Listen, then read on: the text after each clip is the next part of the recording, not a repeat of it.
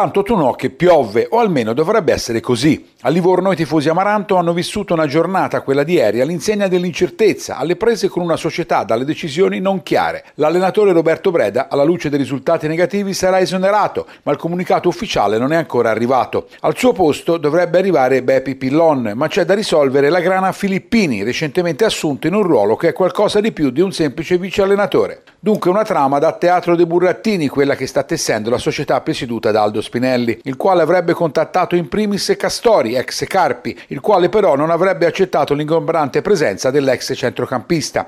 E poi convocato Bepi Pillon, che dovrebbe presentarsi questa mattina a Genova. L'ipotesi B, in caso di mancato accordo con Pillon, porterebbe Ezio Gelain, da sempre nelle simpatie del boss genovese, il quale lo affiancherebbe a tutti gli effetti ad Antonio Filippini. Oggi la squadra si ritrova, ma chi dirigerà l'allenamento? Perché, come detto, Breda non è ancora ufficialmente esonerato. Insomma, una storia gestita in modo alla viva il parroco, con la tifoseria alla quale non resta che soffrire, sperando in tempi migliori.